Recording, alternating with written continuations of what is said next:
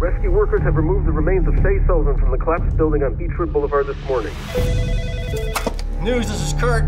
Yeah, teacher killed in building collapse had ties to community, something like that. The financial crisis has to be the most important story of the next decade. Where's everybody else? At home collecting unemployment. Well, it's a lot easier to find a parking spot, that's for sure.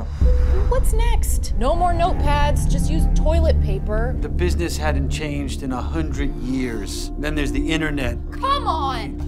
Our job is to get the news to people. What the hot toddy is a budget hearing meeting anyway? What does that Talk mean? Talk to the staff.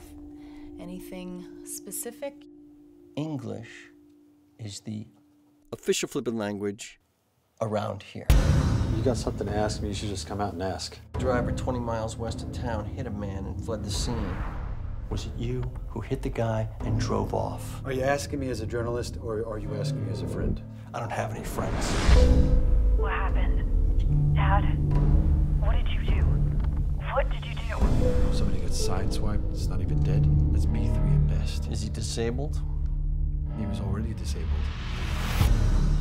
When I say before Tuesday, I mean before 10 o'clock. And when I say before 10 o'clock, I mean go call now. Where'd you go to journalism school?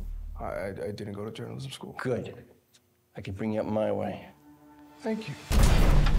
It's not like it's a newspaper with, you know, facts and stuff. Why don't we throw in a few question marks while we're at it? Hey, let's make it a rag with riddles. What do you say, Stanley?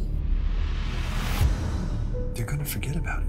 There's always not selling jokes, we're selling fear. Don't you want me to accomplish my dream? No.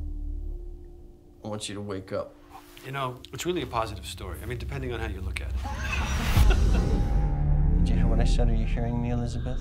There's nothing I can do, and there's no one here.